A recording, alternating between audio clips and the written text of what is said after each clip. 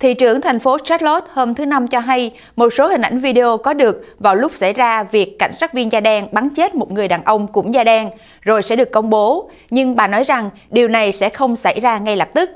Trong khi đó, thì tình trạng bạo động đêm thứ nhì liên tiếp đã khiến thống đốc tiểu bang North Carolina phải huy động lực lượng vệ binh quốc gia, sẵn sàng trợ giúp giữ gìn an ninh trật tự. Trong lúc giới hữu trách tìm cách vãn hồi trật tự, thì có ít nhất là ba doanh nghiệp lớn đã yêu cầu nhân viên của họ nghỉ làm ở nhà một ngày trong tình trạng căng thẳng hiện nay.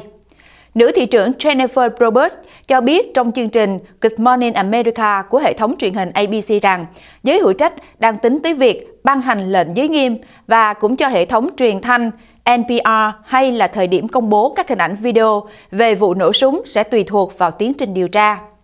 Các hình ảnh này có thể sẽ giải quyết được tranh cãi giữa cảnh sát, vốn cho hay là Keith Lamont Scott, 43 tuổi, từ chối không chịu nghe theo lệnh bỏ khẩu súng xuống đất.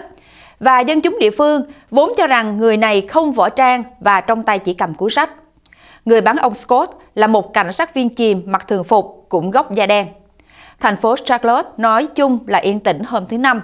Tuy nhiên, các công ty như Bank of America, Wells Fargo, Đất Energy đều nói nhân viên là hãy ở nhà sau khi thống đốc tuyên bố tình trạng khẩn trương vào tối ngày thứ Tư và huy động lực lượng vệ binh quốc gia sau khi cảnh sát trưởng thành phố Charlotte nói rằng ông cần sự trợ giúp vì hành vi bạo loạn đập phá, phóng hỏa đã ra ngoài sự kiểm soát.